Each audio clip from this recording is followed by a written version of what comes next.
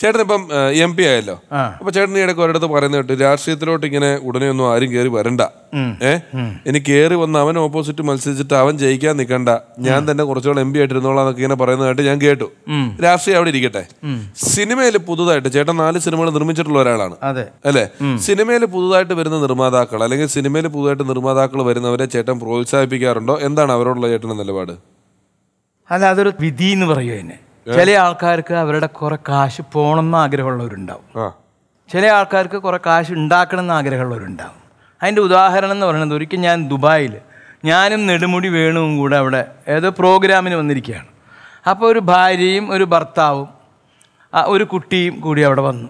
ശരിക്കും പറയുകയാണെങ്കിൽ അത് സം- ആദ്യം കണ്ട വഴിക്ക് എനിക്ക് മനസ്സിലായില്ല പക്ഷെ പിന്നീട് മനസ്സിലായി. ആ കുട്ടിക്ക് അഭിനയിക്കാൻ വേണ്ടിയിട്ടാണ് അവരൊരു സിനിമ തുടങ്ങി. അപ്പോൾ ആ ആ സിനിമയിൽ ഞാൻ അഭിനയിച്ചിട്ടുണ്ട്. കുട്ടിയെ കണ്ടപ്പോൾ കുട്ടി കുറച്ച് വലുതായിട്ടുണ്ട്. ആ ഈ കാരണം രണ്ട് മൂന്നാൽ കൊല്ലായി. സിനിമ. തുടങ്ങിയിട്ട്. ഇതുവരെ ഇതുവരെ അത് റിലീസായിട്ടില്ല. റിലീസായിട്ടില്ല കഴിഞ്ഞിട്ടില്ല ഇനിയും ഷൂട്ടിംഗ് ഉണ്ട്. ബാക്കിയുണ്ട്. സിനിമയിലുള്ള ഒരു നടി എന്ന് പറയുന്നത് മേനകയാണ്. മേനക കല്യാണം കഴിച്ച് മേനയ്ക്കും കുട്ടിയായി. ഇനി ബാക്കിയുള്ള ഇത് എടുക്കണമെങ്കിൽ മേനക വേണം. അപ്പോൾ ഇവർ വന്ന് നമ്മുടെ അടുത്ത് വന്ന് പറഞ്ഞു. അപ്പോൾ ഞാനുണ്ട് വേണുണ്ട് ഞങ്ങൾ ഒരു മുറിയിലാണ്. അപ്പോൾ ഇവർ എന്റെ അടുത്ത് വന്ന് പറഞ്ഞു "ആ, ഞങ്ങൾ ആ സിനിമ എടുത്തു. ഇവിടെ ഉള്ള ആളുകൾ ഇപ്പോൾ ഞങ്ങളെ കളിയാക്കുകയാണ് വേറെ ഒന്നല്ല എവിടെ പോയി സിനിമ എന്താണ് സിനിമ? അപ്പോൾ ഞാൻ ചോദിച്ചു നിങ്ങൾ എത്ര രൂപ മുടക്കിയിട്ടുണ്ട് ഈ സിനിമയ്ക്ക്? അപ്പോൾ അവർ പറഞ്ഞു ഞങ്ങളൊരു പന്ത്രണ്ട് ലക്ഷം രൂപ. അന്നത്തെ കാലത്ത് അത്രയേ ഉള്ളൂ. ഒരു ബ്ലാക്ക് ആൻഡ് വൈറ്റ് പോലെ പത്ത് പന്ത്രണ്ട് ലക്ഷം രൂപ ഞങ്ങൾ മുടക്കിയിട്ടുണ്ട്. ഞാൻ ചോദിച്ചു നിങ്ങൾക്ക് ഇപ്പം എന്താ വേണ്ട? അല്ലെങ്കിൽ ഞങ്ങൾക്കിത് ഒന്ന് തീർക്കണം എന്നുണ്ട് ഏഹ് അപ്പം മാത്രമല്ല ഇതിപ്പോൾ ഈ ആ കാശും പോയി ഞങ്ങൾ കഷ്ടപ്പെട്ടുണ്ടാക്കിയിട്ടുള്ള കാശാണ്. അപ്പോൾ അതിന് എന്താ ഒരു പ്രതിവിധി? ഇന്നസെന്റേട്ടൻ അങ്ങനെ ആൾക്കാരെ ചതിക്കൊന്നുമില്ലല്ലോ. ഇന്നസെന്റേട്ടൻ നിർമ്മാതാവായിരുന്ന ആളാണല്ലോ. അപ്പോൾ ഇന്നസെന്റേട്ടനെ അറിയാലോ എന്നൊക്കെ പറഞ്ഞ് എന്നെ ഒന്ന് പൊക്കിയിപ്പോൾ ഞാനും വേണും കൂടി ഒരു തീരുമാനത്തിലെത്തി. ഞാൻ പറഞ്ഞൊരു കാര്യം ചെയ്യാം. ഇനി ഈ സിനിമ റിലീസ് ചെയ്യണമെങ്കിൽ എത്ര രൂപ വരും? കാരണം ഇനി ചിലവാക്കാനുണ്ട് ഷൂട്ടിംഗ് ഉണ്ട് കാര്യങ്ങളുണ്ട് അപ്പോൾ ഒരു ഒരു ആറ് ലക്ഷം രൂപ. ഉണ്ടായി കഴിഞ്ഞാൽ ഈ സിനിമ ബാക്കിയുള്ളത് ചെയ്യാം. ഞാൻ പറഞ്ഞു ശരി ആയിക്കോട്ടെ. ഇനിയൊരു കാര്യം. നമ്മൾ നിങ്ങൾ നിങ്ങളുടെ ബുദ്ധിമുട്ടും സങ്കടങ്ങളൊക്കെ ഞങ്ങൾ അറിഞ്ഞു. ഗൾഫിൽ ഇത്രയും കഷ്ടപ്പാട് കഴിച്ച് ഉണ്ടാക്കിയിട്ടുള്ള കാശാണൊക്കെയാണ്.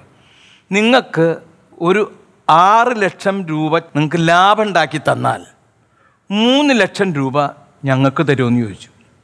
ആരോട് ഈ സ്ത്രീയോട്. അപ്പൊ ആ സ്ത്രീ പറഞ്ഞു ഇത് ഇത് നടക്കാത്ത സിനിമയാണ്.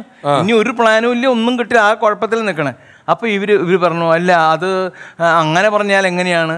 മൂന്ന് ലക്ഷം ചോദിച്ചാൽ എങ്ങനെയാ? അപ്പൊ ഞാൻ പറഞ്ഞു ഒന്നര ലക്ഷം രൂപ നെടുമുടി വേണു ഒന്നര ലക്ഷം രൂപ എനിക്ക്. അങ്ങനെയാ പറ്റില്ല അത് ശരിയാവില്ല. ഞങ്ങൾ നിങ്ങൾക്ക് രണ്ടുപേർക്കും കൂടി ഒരു ലക്ഷം രൂപ തരാം. ഞാൻ പറഞ്ഞു പറ്റില്ല. അവർ പുറത്തു പോയി ഭാര്യയും ഭർത്താവും കൂടി എന്തൊക്കെ സംസാരിച്ചതിന് ശേഷം അവർ തിരിച്ചു വന്നിട്ട് പറഞ്ഞു എന്നാൽ പിന്നെ ഒരു കാര്യം ചെയ്യാം രണ്ട് ലക്ഷം രൂപ തരാം. ഞാൻ പറഞ്ഞു നടക്കില്ല. അവസാനം അവർ പറഞ്ഞു മൂന്ന് ലക്ഷം ഡീലായി. തരാം എന്ന് പറഞ്ഞു. അപ്പോൾ ആറ് ലക്ഷം രൂപ ലാഭം ഉണ്ടാക്കിയാലാണ് മൂന്ന് ലക്ഷം രൂപ ലക്ഷം. അപ്പോൾ ഞങ്ങൾ ഇനി എന്താ വേണ്ടേ?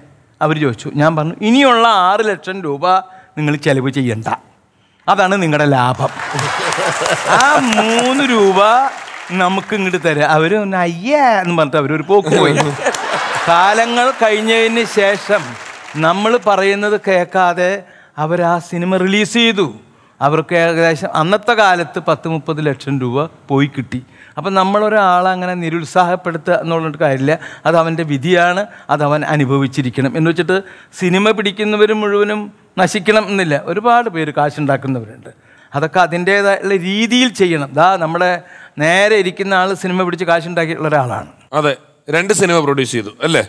രണ്ട് സിനിമ. അല്ല അത് ഒറ്റ നോട്ടത്തിൽ പറഞ്ഞു കഴിഞ്ഞാൽ കുറച്ച് കാര്യങ്ങൾ അറിഞ്ഞിരിക്കണം.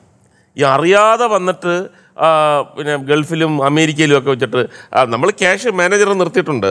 അവിടെ ഇത്ര രൂപ തന്നു കഴിഞ്ഞാൽ ഇത്ര ലാഭം. എല്ലാം നഷ്ടപ്പെടും. കാര്യം എന്ന് പറഞ്ഞു കഴിഞ്ഞാൽ ഇവിടെ വന്ന് എന്താണ് സിനിമ എന്നുള്ളതൊക്കെ മനസ്സിലാക്കിയിട്ട് എന്നിട്ട് പൊളിയുന്നു പൈസ പോകുന്നു അപ്പോഴാണ് ഒന്നും ഇല്ലാതെ പോകുന്നത്. അതാണ് പ്രധാനമായിട്ടും നമ്മൾ നോക്കേണ്ടത്.